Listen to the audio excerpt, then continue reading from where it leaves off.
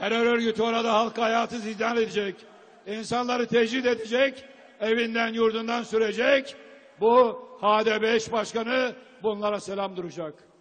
Terör örgütünün mağdur ettiği, zarar verdiği vatandaşlarımıza gereken maddi manevi desteği vereceğiz. Ve terör destekçisi bu HDP milletvekillerine de gerekli dersi Türkiye Büyük Millet Meclisi çatısı altında vereceğiz. Terör örgütünün hendeklerinden zarar gören esnafımıza sahip çıkacağız. Eğitimden geri kalan evlatlarımızın bu kayıplarını en hızlı, en etkili şekilde telafi edeceğiz. Hendek terörüyle, barikatlarla bizi istedikleri noktaya getireceklerini zannedenler büyük bir yanılgı içindedir.